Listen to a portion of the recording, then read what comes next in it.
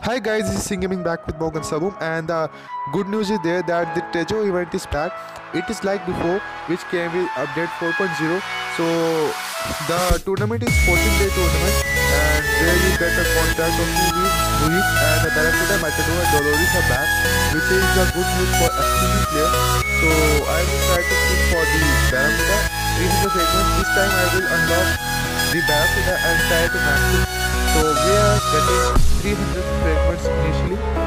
So with the 300 fragments, 30 for the next thing and 5 fragments of the Barracuda.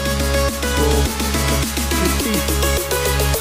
As you can see, I have 250 of the tokens left. So and G launchers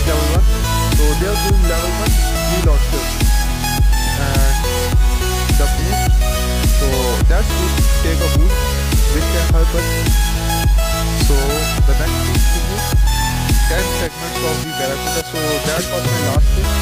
The contract is a little bit expensive this time. So 500 uh, gold.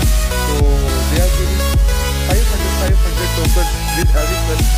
So I will try to use one of the time which I recently got. So let's get into a match. So I recorded a gameplay with 22 kills. Uh, that was a good gameplay. So thanks for watching the video. Like, subscribe the channel for more of Gunsa and update and uh, view my recent uploads on Barracuda.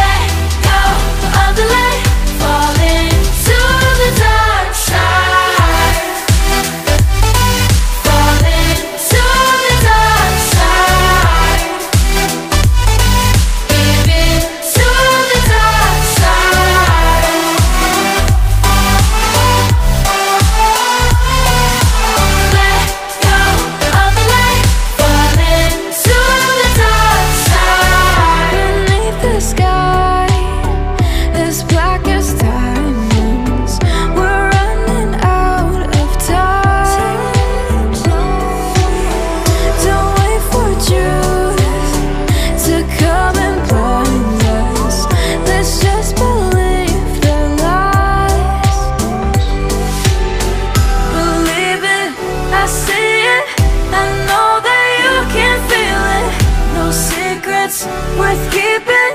So far